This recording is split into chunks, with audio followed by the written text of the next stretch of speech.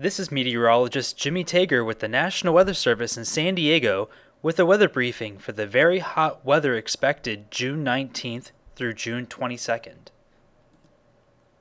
Upper level high pressure currently over northern Mexico will build north and west over the desert southwest this weekend into early next week.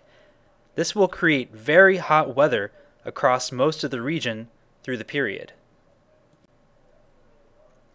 The hottest day is forecast on Monday, June 20th.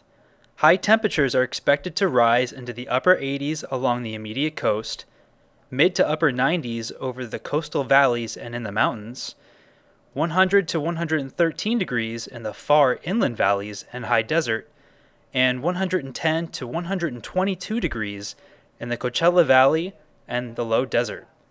Several high temperature records are expected to be tied or broken. Temperatures will slowly lower through the rest of the week, but still remain very hot Tuesday and Wednesday. Many areas are expected to have a moderate to very high heat risk Monday and Tuesday.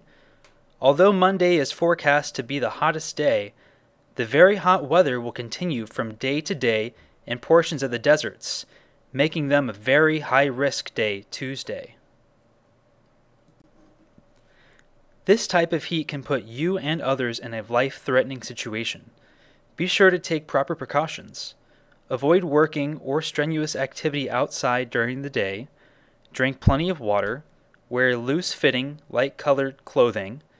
Stay out of the sun and find an air conditioned building if possible. And never leave children or pets in an enclosed vehicle. Thanks for watching this weather briefing.